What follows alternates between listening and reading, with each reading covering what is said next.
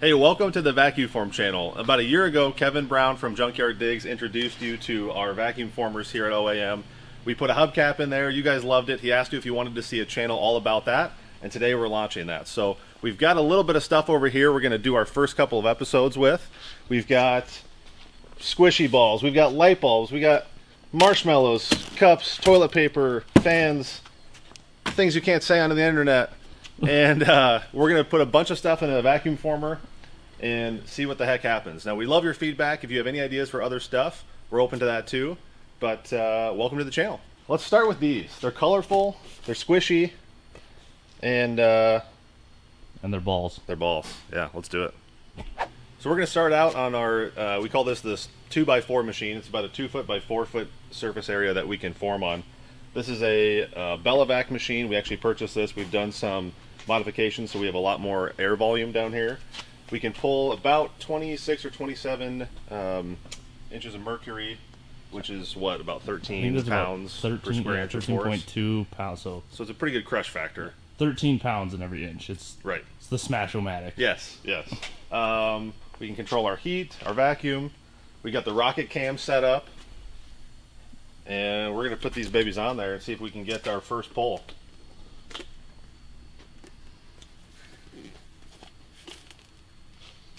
Couple more.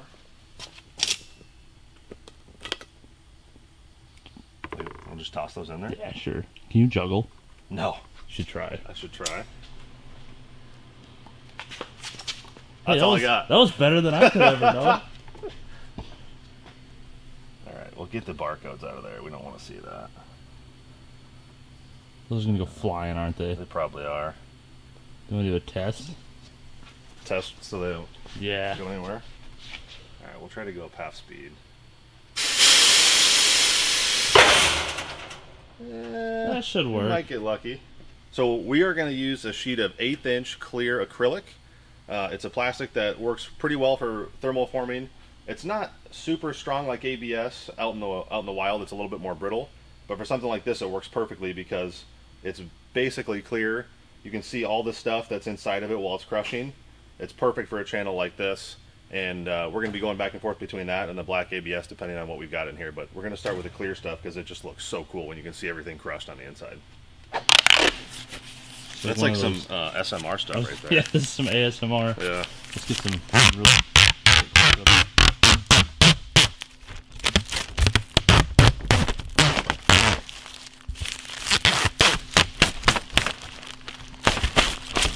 I must say, your methods of removal are not very relaxing. I know. They're a little jarring, honestly.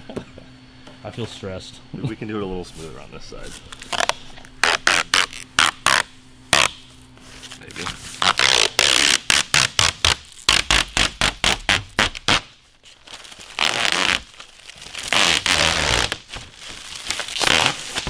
Okay, things we're good at vacuum forming, things we're bad at ASMR. Okay. We're just gonna place it right in here.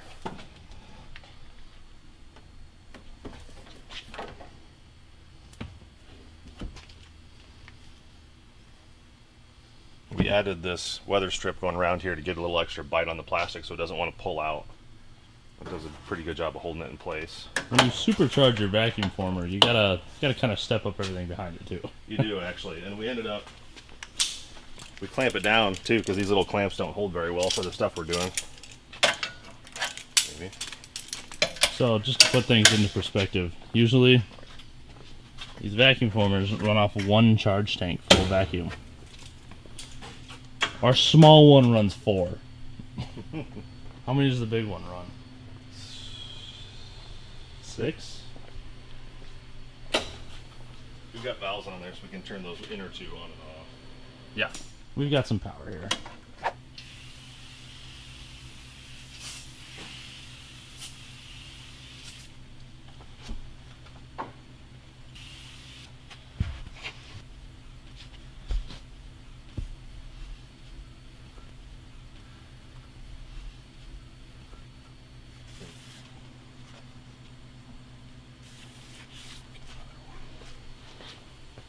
Okay, so we're going to film the whole process uh, on this first one. We're going to pull the heating elements forward, turn them on. It's about two or three minutes to get it up to temperature. Uh, we've got a gun here somewhere. We'll check the surface temp and make sure we're right where we need to be. Uh, What are we shooting for today? We'll probably go to about 300. We'll see. We'll see how that goes. That's usually warm enough that we don't have too much resistance, but not so warm that it gets super thin and we have any worries about blowouts. So Yeah, if we're shooting 300 Fahrenheit, we could like make cookies on this. We're making cookies one of these days. We'll do that for sure. Alrighty, let's get her heated up. Heat on. Valves are closed. Vacuum on.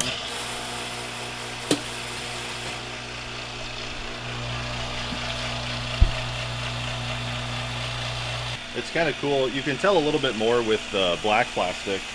It might not show up with the clear, but when the plastic reaches its glass transition temperature, it does this really cool thing where it gets really wrinkly and then all of a sudden it gets smooth again and starts to sag. So you can almost tell just by the shape of the plastic when you're at the right temperature. But we use the heat gun just to make sure we're dialing it in every time. Oh yeah, we're getting close. You can see how distorted the reflection is right now. There's all these big waves. And it's about to smooth out. Probably go. Let's try it.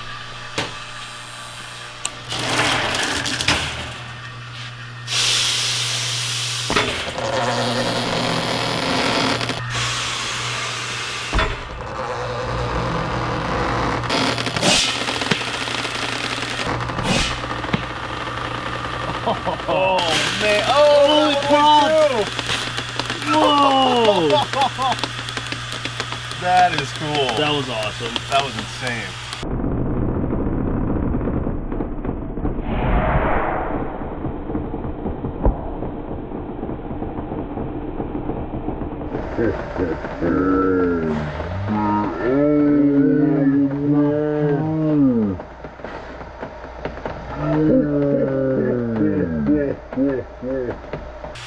Look, it's melting onto the other one. Oh yeah. That's sweet. Look at that. It pulled the balloon or the balloon. Yeah, look, it melted all the uh, all the bits. We'll cool it off a little. Keep it.